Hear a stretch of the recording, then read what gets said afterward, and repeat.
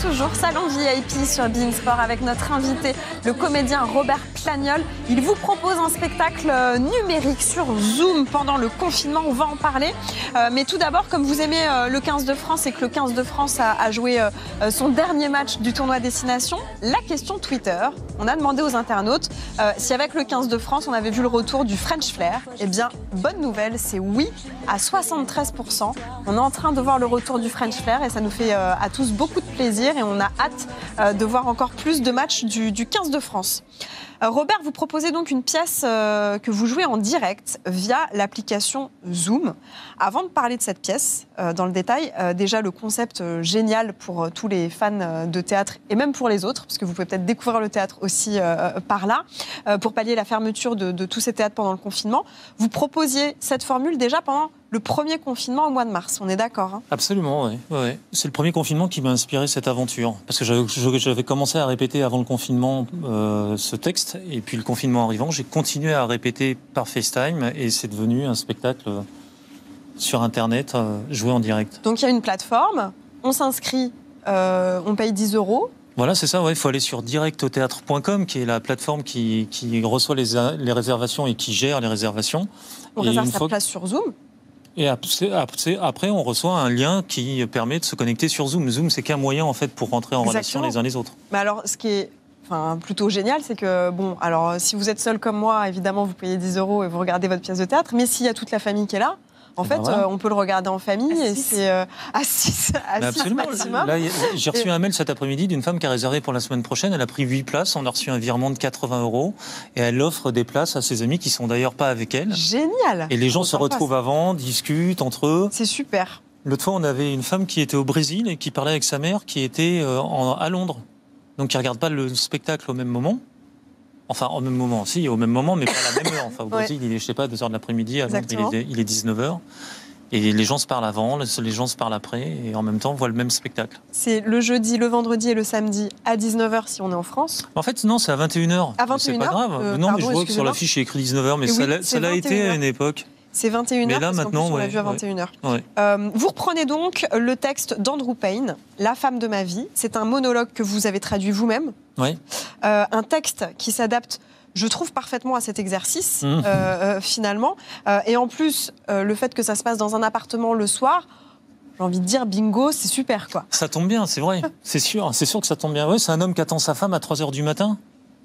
Mais Que fait-elle? après, après, voilà, c'est ça, c'est ça la question. Après une, une soirée un peu compliquée où il a vécu euh, des choses euh, épiques, euh, violentes et, et, pas faciles, et il attend sa femme qui devrait être là depuis une heure, qui lui a dit qu'elle allait arriver, mais qui tarde à venir. Alors qu'il y a quand même 5 millions d'euros qui traînent dans le coffre d'une voiture qu'il a déposé dans un garage et il s'inquiète un peu. C'est à la fois très intimiste et en même temps très anecdotique au sens thriller du terme. C'est-à-dire qu'on on suit l'anecdote de, de- de- qu'a vécu ce mec-là. Et en plus, à partir de là, on, on- on retourne aussi dans le passé du personnage Ouais. pour comprendre euh, euh, sa construction, finalement, euh, d'homme euh, aujourd'hui. Euh, Comment il en est arrivé là, quoi Exactement. Cet amoureux du bon goût, du, et Du chic, des belles de choses, du chic, Ouais. et euh, qui, qui a, oui, qui a deux problèmes, l'un avec l'autorité et l'autre avec le mauvais goût, justement. Oui. Et il raconte euh, la rencontre avec sa femme, euh, son expérience de, de voiturier, enfin Oui, de, parce de qu'il est- chauffeur. Oui, c'est ça, parce qu'il voiture. il, est- il- oui, il travaille pour une compagnie de, de conciergerie de luxe, donc il a affaire à des gens qui se déplacent que dans, un- dans des endroits absolument magnifiques. Et, et voilà, c'est ça le problème, c'est qu'en fait sa vie à lui n'est que de bruit de fureur, alors qu'il rêve de luxe, de calme et de volupté. C'est C'est comment il bascule aussi dans, la, dans ce milieu de la mafia. euh. Oui, au gré de ses rencontres, et puis parce que justement aussi sa nature, lui, ça aurait été un sportif de haut niveau euh, dans la catégorie de la boxe, parce que très vite il peut, il peut mettre un coup de poing à quelqu'un qui, euh, qui le fatigue. C'est-à-dire que, donc évidemment, ça lui pose des problèmes. euh, Évidemment. avec voilà. les forces de police, il se retrouve en prison, enfin il nous partage tout ça. Mais à la fois c'est aussi un homme très attachant qui, qui souvent a- suscite chez, dans le public des, des- des réactions très, très tendre. Hein. C'est-à-dire qu'on on, le déteste pas, ce mec-là, même s'il est très, euh, très violent. On va en reparler, euh, Robert. Tout d'abord, la bande-annonce.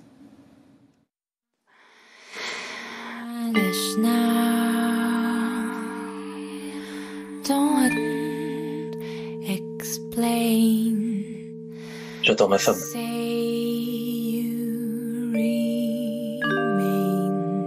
Je l'adore. Normal, c'est la femme de ma vie, mais de temps en temps, elle me fatigue. Quand elle me fait attendre, par exemple. Je suis patient en général. hein. J'ai pas le choix, ça fait partie de mon boulot. Seulement ma patience a des limites.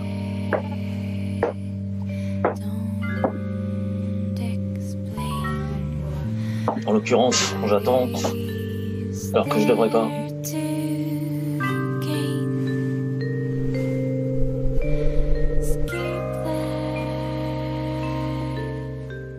Alors c'est 21h, hein, donc jeudi, vendredi et samedi. Et c'est vous, euh, c'est ça Robert, qui avait demandé à Andrew Payne de vous écrire un, un texte comme ça Mais oui, Un parce que c'est- monologue oui, parce que c'est un auteur que je traduis depuis longtemps et, et, euh, j'ai joué beaucoup ses pièces à Paris. Et un jour, je lui ai dit, mais j'aimerais bien que tu m'écrives un monologue. Il m'a dit, d'accord. Il était content de ce que j'avais fait pour lui, donc. euh, Et vous vouliez un homme en colère Mais j'ai dû lui dire, en fait, non, en fait, j'aimerais bien faire un, un one-man show, j'ai dû lui dire, mais pas un one-man show, tu vois, où tu sors des vannes, les gens rigolent et tout, mais plutôt un, le- un mec qui dit, je vais vous mettre des pains, des machins, tout ça. Un, un provocateur, c'est ça. Je, je lui ai dit ça, et du coup, il a écrit, euh, il a écrit cette histoire. Bah en même temps, ce- c'est pas non plus un personnage qui insulte les gens, loin de là, mais, Non mais, c'est- mais c'est quelqu'un qui a des réactions assez vives, qui rentre un peu dans l'art de, de, de- de ses interlocuteurs, et c'est ça qui est drôle d'ailleurs au final. Dans le langage, euh, il y a une sorte de, de violence euh, euh, par moment. Et Ouais. on vous suit aussi, euh, on suit Franck, hein, votre personnage, dans son intimité. On le voit dans son entrée, on le voit dans sa cuisine. Alors, vous urinez peut-être pour de faux dans, dans, dans, dans- dans le spectacle. Vous mangez. et techniquement, vous faites tout ça avec votre tablette. Oui, je fais ça avec ma tablette parce que c'est très facile à, à- à déplacer et que ça permet aussi euh, d'inverser la caméra. Donc c'est pour ça que des fois il y a des plans comme ça subjectifs où quand je me déplace, on voit. euh, Donc, en fait, vous avez double rôle finalement. Vous êtes à la fois le metteur en scène et le- le- le- le- l'acteur de cette pièce. et le technicien même. Et le technicien. hein, ouais, vous mais c'est pas quoi. compliqué. Hein, faut se détendre. Hein, c'est pas, c'est moins compliqué que de faire un salto avant réception pied, pied parallèle sur une poutre. C'est euh, non, mais je veux dire, c'est pas non plus la performance du siècle. Mais, mais par contre, non, ce qui est intéressant, c'est que cet objet-là euh, permet de, de bah, de continuer à faire du théâtre alors qu'on peut plus sortir. Moi, par exemple, ce soir, là, je vais jouer à 21h devant des gens qui ont réservé, qui vont sortir de leur univers euh, particulier pour aller vers l'univers de Payne et l'univers de ce personnage. C'est quand même assez formidable. Et il y a un deuxième spectacle qui est hébergé par directtheatre.com. Et l'autre fois, je voyais, c'est Luce Mouchel qui joue un petit souffle et j'allais tomber. Et je la voyais euh, sur mon écran parce que je vérifie que tout se passe bien. Et j'étais quand même hyper fier, alors que je suis pas du tout, euh, euh, du tout euh, prétentieux par rapport à, ça, parce qu'encore une fois, j'ai pas eu d'idée, mais je me suis dit, tu as montré une voie de quelque chose euh, qui est étonnant, qui fait qu'on peut, on peut aller au théâtre alors qu'on peut pas sortir. Mais on est d'accord que c'est à nouveau un monologue, euh, ce qui, ce, ce- cette- ce- Il se, trouve que c'est un, spectacle-là il, se il se trouve que c'est un monologue, mais Payne, il est en train d'écrire une pièce à deux personnages qui va se, euh, que, je vais créer sur Zoom et qui peut être dans deux vignettes différentes parce qu'en fait, ça permet, on peut, on peut euh, sur Zoom mettre deux personnes côte à côte qui tout d'un coup se rejoignent par, euh, par exemple, si avec Clara on n'était pas dans le même univers, mais que je lui passais euh, cette, euh, cette lettre, Elle peut elle, la- elle ferait comme Comme si elle l'a récupérée. Oui, comme si elle l'a récupérée. Donc ça, évidemment, les gens savent qu'on est en train de tricher, mais les gens adorent qu'on Ah ouais. triche. C'est pour ça que moi, quand j'ouvre mon frigo, par exemple, à un moment donné, il y a un plan sur des yaourts qui s'appelle vrai, où il y a que, je sais pas si vous avez vu ça, mais quand je vais prendre la vodka, attention. quand je prends la vodka dans le congélateur, il y a une étagère où j'ai mis les yaourts que ma femme mange, qui sont des yaourts de brebis bio, et la marque c'est vrai. Et j'ai mis quatre yaourts vrais pour justement créer un décor dans mon frigidaire qu'on voit pas mes tupperwares ou je sais pas quoi, mais surtout pour créer une complicité. Tout le monde sait que euh, quand on est en train de jouer, on, s'amuse pour de faux à avoir euh, mal ou à être content ou à être en colère. Et c'est ça qui, c'est cette complicité entre le spectateur et l'acteur qui fait qu'il y a du théâtre. Donc, euh, votre appartement est devenu votre lieu de travail et votre Ouais. lieu de jeu. Euh, Est-ce que chez vous, tout est marqué au sol pour les déplacements, pour mettre euh, l'iPad à, à- à certains endroits différents? Mais carrément, par exemple, mais cette photo là qui est en fond d'écran sur votre décor, on voit jamais ça. Là, on est en train de me voir, en train de me filmer, mais sinon on voit pas, on n'a pas la On globalité pas de ça. du tout ça. ouais. On n'a que des parties de décor qui permettent de justement dématérialiser la- la- l'appartement, euh, enfin mon appartement. On me voit pas chez Il est moi. très épuré, votre. Enfin, en tout cas, les... ce qu'on en voit, Oui, euh, c'est euh, assez impersonnel finalement. Ça pourrait être n'importe où, vous pourriez être n'importe où. euh, Exactement. C'est pour ça d'ailleurs, je suis censé aller tourner à La Réunion là, dans, dans 15 jours et je vais jouer de La Réunion. C'est ça vous- qui est génial. Où est-ce que vous cachez votre femme et vos enfants? Pendant la... Pendant la... Dans la cave. C'est vrai? Non, non, non, non.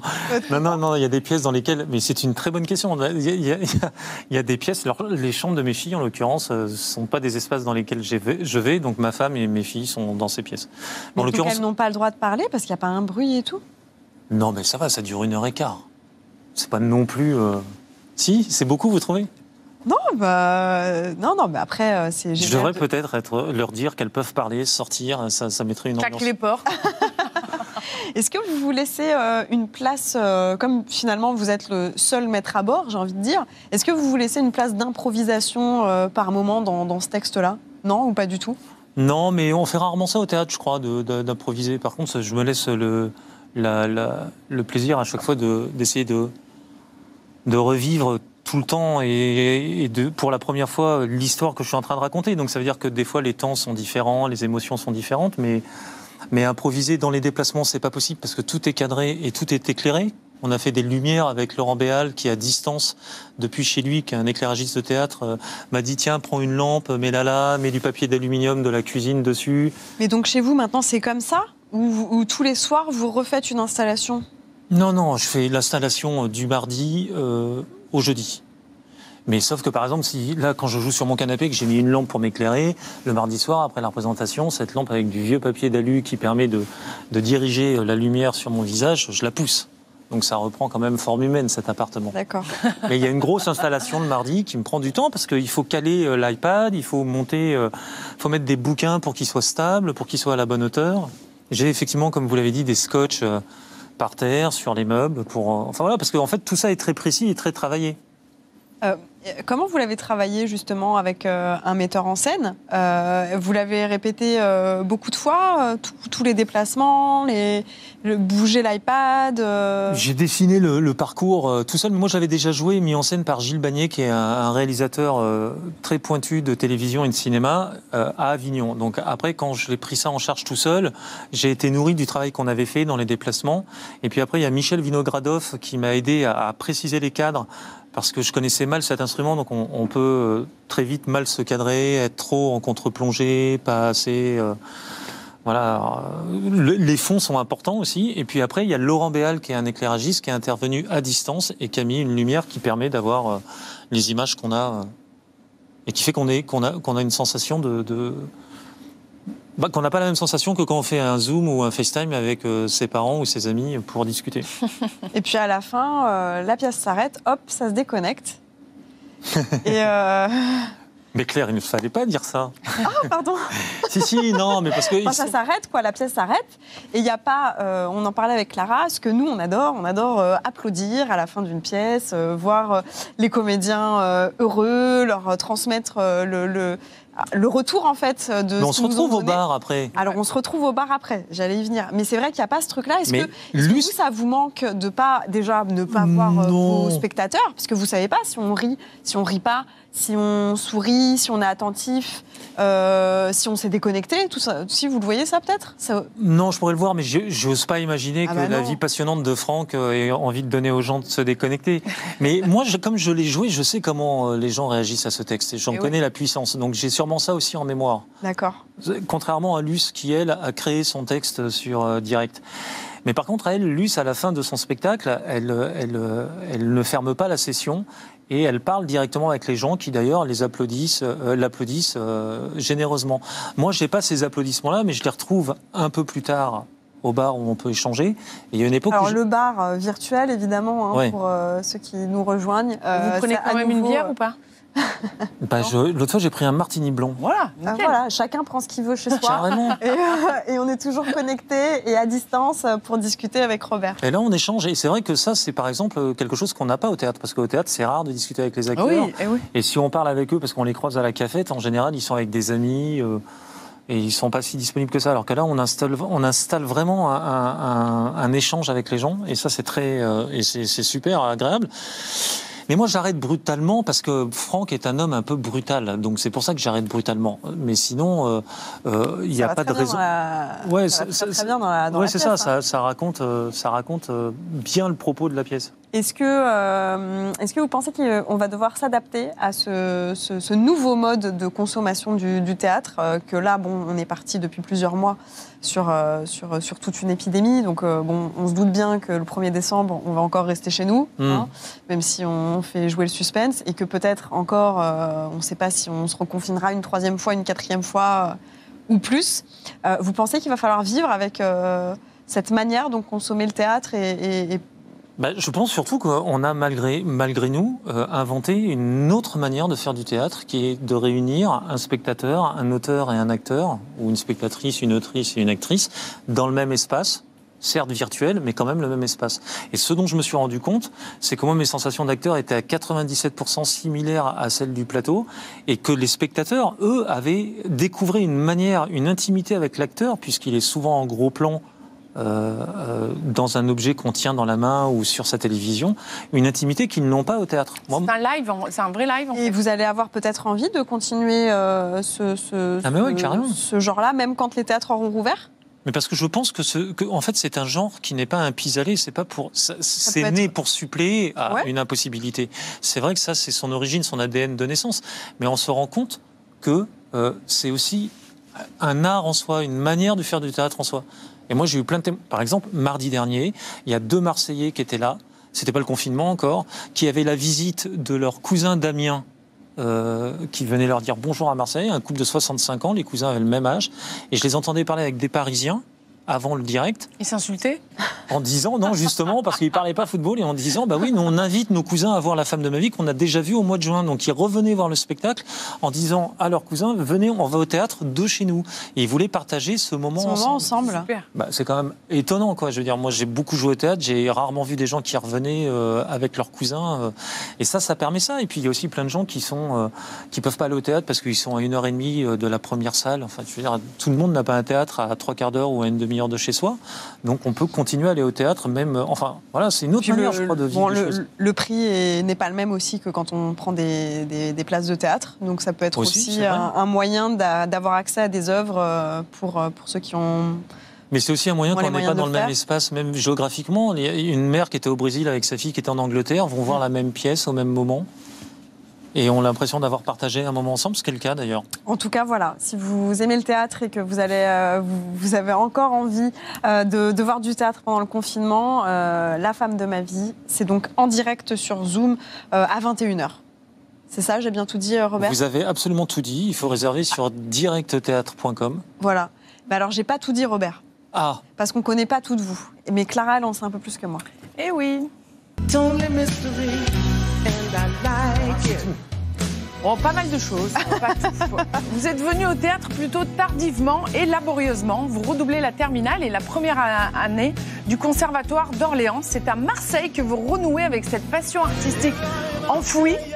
Cette ville fait du bien à tous ceux qui la découvrent. Depuis 1992, vous avez la chance de travailler régulièrement. Vous comblez vos quelques périodes de creux par la musique. Vous êtes violoncelliste dans un orchestre, tous amateurs, mais de très très bon niveau, pouvoir assurer vos six représentations annuelles, quatre concerts, et vous faites aussi la fête de la musique et les restos du cœur. Vous vous retrouvez tous les lundis soirs à 19h30 pour faire vos répétitions et vous entraîner. Il faut beaucoup répéter avant un concert. hein. Vous n'avez pas toujours le temps. Le théâtre, les tournages sont très présents dans votre vie. Alors, il vous arrive sur scène des trous de mémoire.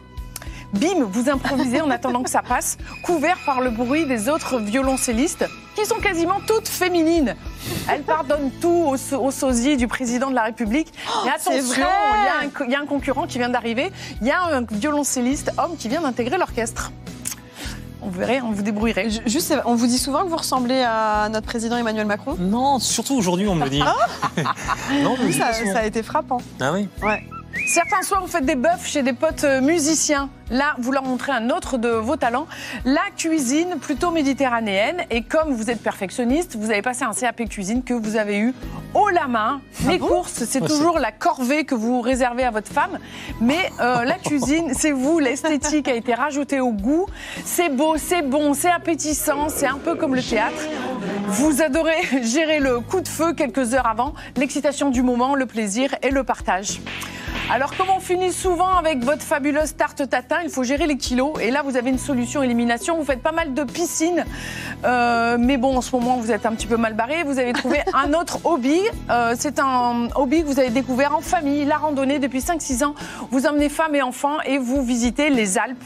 Comme tout ce que vous entreprenez, vous le faites avec exigence et vous avancez, c'est dur, c'est dur, jusqu'au gîte. Et là, c'est le moment de détente mérité, lieu de rencontre. Et là, vous relâchez vraiment.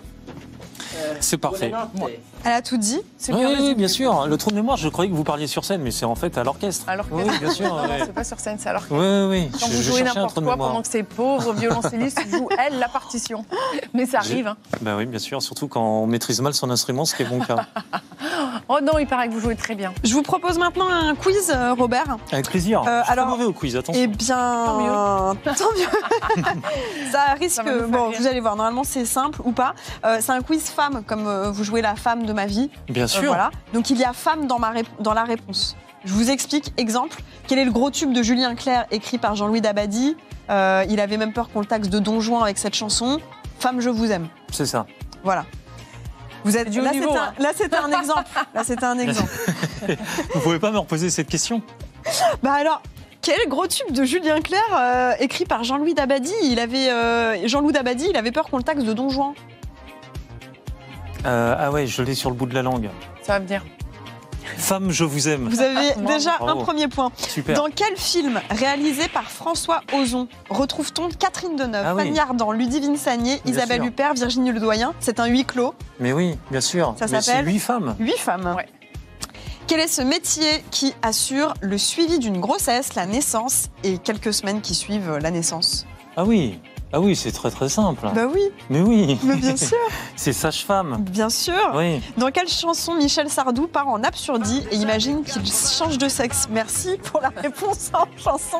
J'ai pas entendu. Ah bon Euh, Ah, Très bien. Femme des années 80. C'est Exactement. ça Vous êtes sympa. hein. Dans quel film américain retrouve-t-on des personnages gothiques dans un manoir qui fait flipper? L'humour fonctionne un peu sur l'inversion. Ce qui est beau est laid et vice-versa. Je sais pas. Vous voyez, je La, cherche même la pas. famille, Ah oui, c'est ça. la Adams. famille Adams. D'accord. La femme, I. Ah oui. Ah oui, ah ben ouais. Des fois, ça se complique. hein. Ah oui, là ça va Ah non, se mais j'ai oublié ça, pardon. Ça va encore plus se compliquer. Quelle infraction pénale peut coûter jusqu'à 12 000 euros quand elle est publique? C'est une atteinte à l'honneur d'une personne. Il y a femme, Oui, bien sûr. à l'intérieur La du Dix film. femmes. évidemment. Action. Un, der- Ah, bravo. un dernier, parce que vraiment je sens que vous adorez ce quiz. Dans quelle série Jonathan Cohen se retrouve à gérer un trafic de drogue avec Gérard Darmon? C'est une série récente. Faut rajouter une lettre. Là, La femme. avec. Ouais. Je, euh, Family, Là, je sais pas. Family Business. Ah oui. Ouais. J'ai pas vu ça. J'ai tourné avec Cohen euh, sur euh, dans un plan parfait de Danny Boone, Ouais. mais ça m'a échappé qu'il faisait ça. Et Eh c'est ben, bien. franchement, ouais, c'est sympa. Très très très sympa.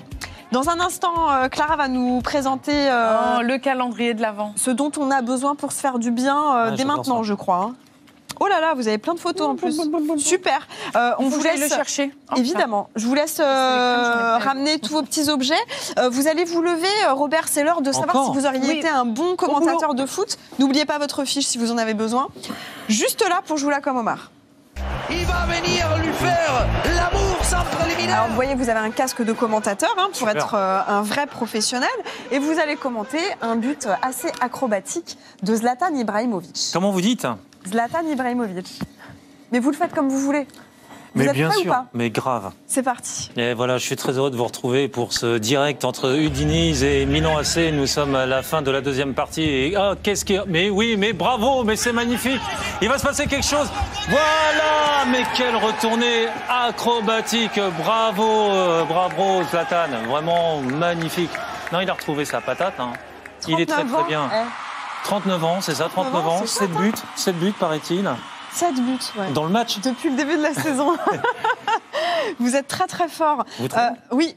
On va ouvrir l'album photo à la date du 3 novembre, date du jour, c'est la date de naissance d'Unai Emery. Le footballeur espagnol reconverti en entraîneur a gagné trois fois la Ligue Europa avec Séville. Richard 7. C'est à Fontarabie, au Pays Basque, tout près de la frontière franco-espagnole, que tout a commencé pour Unai Emery. Et de la vie de tous, il était né pour devenir entraîneur. À 15 ans, son chemin est tout tracé vers San Sebastian et son club mythique, la Real Sociedad. Il ne jouera que 5 petits matchs avec les pros, puis une blessure le tiendra éloigné des terrains pendant un an. 1996, Emery entame un parcours en deuxième division espagnole à Lorca, mais une blessure à un genou le contraint à mettre un terme à sa carrière de joueur. L'insolite se produit alors, le président de Lorca vire son entraîneur et installe Emery sur le banc. L'aventure peut commencer. Un passage à Almeria, une expérience en Russie sur le banc du Spartak Moscou, puis un retour en Espagne à Séville en janvier 2013, où il succède à Michel. En trois ans, il a remporté trois Ligues Europa et attire les plus grands clubs européens. C'est à Paris que le technicien pose ses valises en 2016 avec le club de la capitale. Il remporte un championnat, deux coupes de la Ligue et deux coupes de France, mais échoue à chaque fois en Ligue des Champions. Après Paris, direction Londres et les Gunners d'Arsenal. Unai Emery n'y passera seulement qu'un an et six mois, lui qui devait être le boss d'un nouveau projet après la période de 22 ans d'Arsène Wenger. Il retourne finalement en Espagne pour entraîner le club de Villarreal avec l'ambition de soulever à nouveau des trophées. Clara va nous présenter euh, des objets à se procurer pour se sentir bien pour Noël. C'est parti, victime de la mode. de la mode. Tel est son nom de code. Alors c'est le premier calendrier de l'Avent que je vous propose et non c'est pas du chocolat mais c'est tellement mieux. C'est un calendrier qui est écolo, caritatif et il est en série limitée donc jetez-vous sur l'e-shop pour aller le chercher. Il n'y en aura pas pour tout le monde. Plastique et uniquement des produits 100% re- recyclés pour la fabrication de ce joli calendrier de l'Avent. Vous le voyez, il est beau. Mais alors dedans, qu'est-ce qu'on retrouve s'il n'y a pas On de retrouve chocolat alors donc il y a 24 jours. Ah mais c'est tellement mieux. Il y a des soins, il y a des petites surprises, il y a des crèmes pour, pour le visage, pour la peau, démaquillants. Il y a plein tous les produits. Euh, il y en a donc 24. Produits cosmétiques. Oui, mais ce sont Super. les 24 que les clientes préfèrent et les clients préfèrent acheter. Donc vous les C'est retrouvez. les best-sellers, quoi. Oui, si vous les retrouvez dans les petites cases. Vous voulez que j'en- ouvre un Je le Avec prends. plaisir. Ah Au hasard, je ne sais on pas. Très envie. Je ne sais pas. que- Ah tenez. Merci. Ouvrez celui-là. Claire, vous en voulez un? Oh D'ailleurs, je oui. vous le passe pas parce qu'il y a le Covid. euh, Tiens, alors attention. Bam. Hop, allez, on en ouvre, on ouvre un autre. Alors, vous remarquerez que le, le design est, plus, est plutôt euh, canon. Et c'est la lyonnaise, la- l'artiste lyonnaise Maïté Franchi qui a dessiné le packaging et elle s'est inspirée de la boutique euh, new-yorkaise qui est très art déco. Moi, j'ai un pin, Ah, ça. génial. Et vous, vous avez Moi, j'ai une petite crème euh, anti-rides. Ah, bah Ah, super. bah voilà. Bah, écoutez. Alors, vous avez aussi la collection de Noël qui est en grand format. Si vous ne connaissez pas cette crème pour le corps qui géniale. ressemble à de la mousse, moi je l'adore, je la mangerai. Allez-y. Et elles sont très très bon. Et à étaler, c'est un bonheur. Il y a aussi, vous savez, la fameuse crème à l'avocat. Quand vous la mettez, elle vous réhydrate à la puissance de l'éclair. Et puis, il y a encore plein d'autres choses. Alors, toutes, ces- toutes ces, euh, ces produits qui sont à la, à la vente, vous allez vous faire plaisir. Et surtout, pensez, quand vous achetez, que vous passez votre carte bleue, que 2 euros sont reversés à l'association Refuge, que ce soit les produits... euh, Les best-sellers, les, les éditions limitées de les- Noël. toutes les éditions li- limitées de Noël, c'est reversé à l'association. Vous savez, c'est celle qui héberge, soutient et euh, accueille les jeunes LGTBQ, plus qui sont rejetés par leur famille. Vous savez que ce sont les, homo- les homosexuels, les trans, euh, les queers, tous ceux qui pensent qu'ils sont différents. Alors on les aide à s'intégrer parce qu'ils sont comme tout le monde. Super, une Évidemment. super initiative. Merci beaucoup Clara. Euh, on a envie de fêter Noël dès aujourd'hui et euh, peut-être même d'entendre la chanson de Maria Carey, mais c'est peut-être un peu tôt. Non, allez. Non, Merry Christmas. bah, peut-être qu'ils vont la chercher. En tout cas, on a hâte. Euh, mais c'est trop tôt, très me dit-on me dit-on dans l'oreillette, c'est beaucoup trop tôt. Euh, Robert, merci beaucoup d'avoir été avec nous. Je rappelle, votre performance, c'est la femme de ma vie sur Zoom euh, à 21h en semaine, il y a plusieurs jours. hein, on peut. Euh, Mardi, Mardi, mercredi, mercredi, jeudi. jeudi. Eh ben super. Et voilà. vendredi, samedi et dimanche, c'est euh, Luce Mouchel qui prend la suite sur le site. Exactement, voilà. Je me suis emmêlée tout à l'heure avec les, les, les jours et les soirs, mais vous allez sur le, sur le site internet, vous pouvez retrouver ça. Euh, et puis, vous nous disiez euh, tout à l'heure en antenne que les- quand c'était gratuit, il y avait eu tellement de gens qui s'étaient inscrits que vous n'avez même pas pu rentrer dans la conversation. Ah oui, il y a eu 100 personnes et mon iPad a, a- a bugué, donc je l'ai éteint. Et quand je l'ai réouvert, on m'a dit euh, la réunion est, est- est- est complète, vous pouvez pas rentrer. Donc j'avais un pote qui était Allez connecté avec loge. moi. Ouais, c'est ça. Et qui a, qui a viré quelqu'un que j'avais identifié comme étant ma cousine. J'ai dit, tu sais, la blonde là qui s'appelle comme ça, vire-la, c'est ma cousine. Et en fait, c'était pas ma cousine. Oh là là Mais ça m'a permis de rentrer et de jouer. Bon, bah super. En tout cas, euh, merci beaucoup d'avoir été avec nous.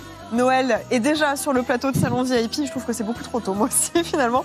Euh, vous allez passer dans le bureau du boss, Robert. La semaine dernière, c'est Michel Boujna qui s'est prêté au jeu.